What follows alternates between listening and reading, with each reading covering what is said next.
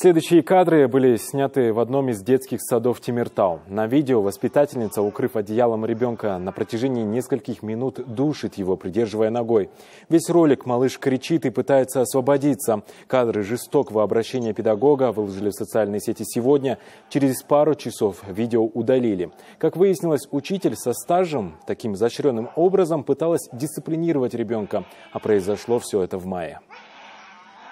Ходе изучения видео сотрудникам полиции установлена 50-летняя воспитательница одного из детских садов города, которая призналась, что, находясь на работе, не могла уложить спать данного ребенка, так как она не слушалась и прыгала на кровати, в связи с чем она придавила ребенка одеялом и удерживала ее. На сегодняшний день по данному факту э, начато досудебное расследование по статье 140, часть 2 Уголовного кодекса Республики Казахстан назначена соответствующая экспертиза, проводится расследование. Также сотрудниками полиции установлены родители несовершеннолетние, которые написали заявление о привлечении к ответственности данную женщину.